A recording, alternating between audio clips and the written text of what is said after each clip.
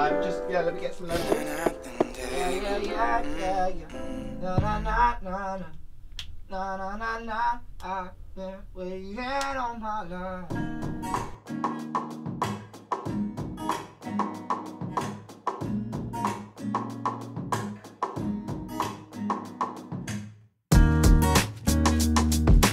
So basically, I've been going lots of different songwriting sessions with some incredible producers, getting to sort of connect with them, write songs with them, make music with them.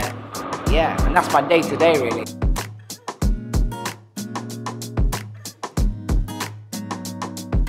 Been with Mass Time Joy, been with Dan Priddy, with Mojam, been with my boy Courage. Oh my days, yeah, so many amazing people. So every time that I'm walking into the session, I'm focusing on like the concept and like the lyrics and like what am I gonna actually bring to the table?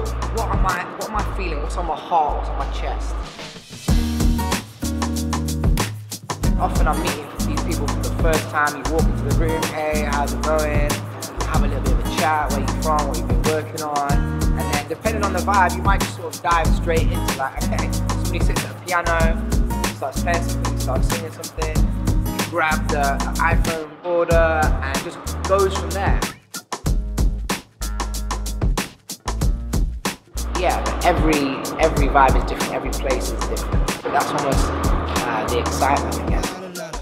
We keep talking la la la la la.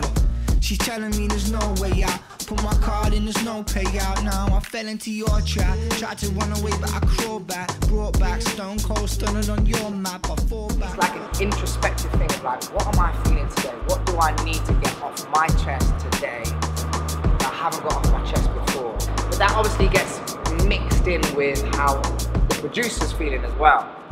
So you sort of meet in the middle, I guess.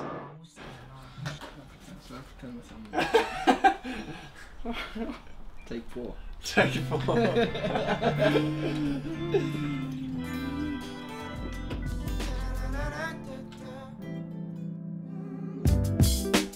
Walking around in my horseshoes. Don't call no one, but I call you. Rumors I'm yours, yeah, they're all true. Rich in love, I can afford to. Love what you say, I adore. When I learned there's always strings attached, baby.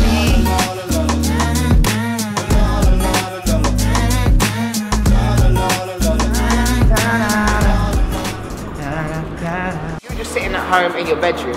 If I'm just writing songs on, on my guitar, I'm gonna write a certain type of song. And I might get influenced by slightly different styles, but it's all within the same sort of circumference. The most amazing thing about working with other people is that you just completely, that circumference just disappears. You're in like completely new territory, and that's like so exciting.